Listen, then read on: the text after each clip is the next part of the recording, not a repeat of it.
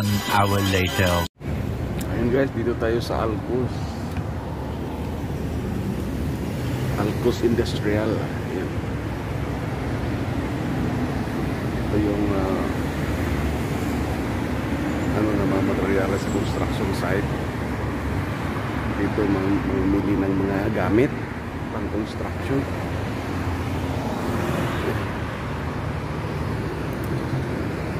Mga warehouse dito, marami warehouse.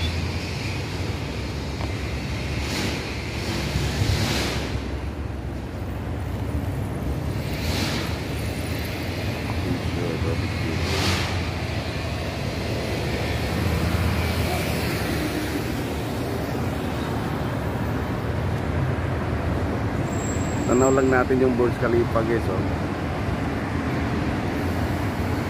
Yan.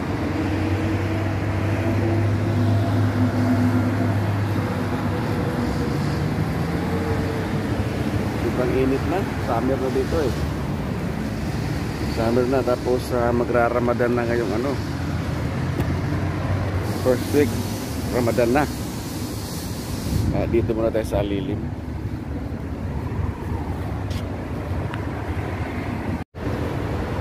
Yan guys. Mainit na.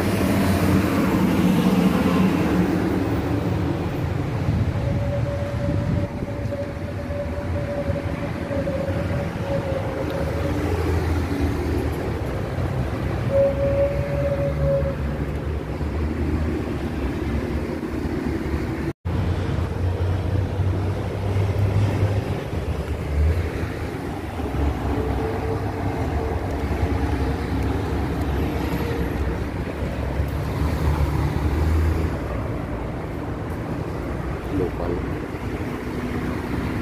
Ang laking flyover oh. Didiretso yan doon sa Alquil Road. Ito yung mga pabrika ng ah, factor, factory ng simento. Malaking ano yan guys. Diyan mamimili yung mga construction company. Kasi mura lang dyan eh pag nasa direct ka sa factory. Yan.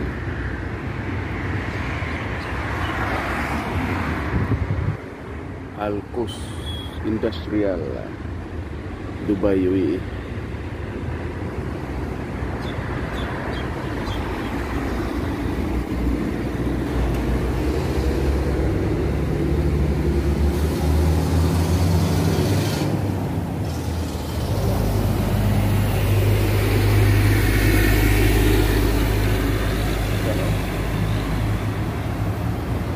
Mga baby trucks naghakot ng mga bakal dadalhin yan dun sa site guys sa mga construction site. Eh tayo trabaho natin ay isang uh, real estate so involved din tayo sa mga construction site. So minsan palagi tayo sa, sa site kaya mainit. Pero at least uh, malamig lang. Sakyan natin. Ay isang uh, luxury din naman yan. BMW kaya solid lang. Ang init okay lang din. Minsan na mga May, July June, July abot ito ng ano guys mga 52 degrees ang init. Grabe sobrang init. Umaga pa lang tagaktak na pawis mo.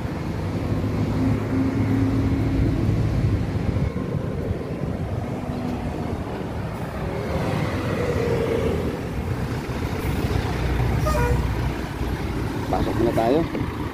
Mukhang uh, matutusta na tayo dito ay nako sobrang init talaga dito guys. Ah, pag lahat summer na ngayon summer na. Kaya paano ano lang muna palamig lang muna tayo rito. Ayan. yan ang trabaho natin dito guys araw-araw. Lumalagari gumaguma. Ayan ayan natin ito yung uh, ano niya. Cambio kumbaga gear niya. Nakagandahan lang nito guys kasi self-driving siya pag uh, sin, uh, ano na yung uh, nasa main road ka na. Halimbawa punta ng Abu Dhabi pang long ride. Ay, kung gusto mong uh, bitawan na siya may self-driving siya. So wala nang problema kahit huwag ka lang matulog. Huwag kang umidlip kasi tao lang gumawa nito. Kahit sabihin natin 100% siya. Accuracy yung high technology siya. Tao lang tao pa rin gumawa niyan. Kaya mas mayigi pa rin yung tao pa rin mismo magmamaneho. Kaya hindi ako maasa hindi ako na ano dito. Ma minsan sinusubukan ko siya mga 5 minutes. The long drive going to Abu Dhabi.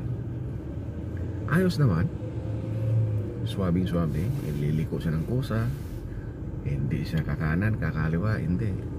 Kung uh, distance naman sa may harapan kusa din siyang magpipreno. Mag, uh, may signal sa rito magdodouble automatic siya mag uh, yung dashboard niya. Automatic. May mga mababasa makikita ka dyan ng mga sign mga mag hazard siya kusa.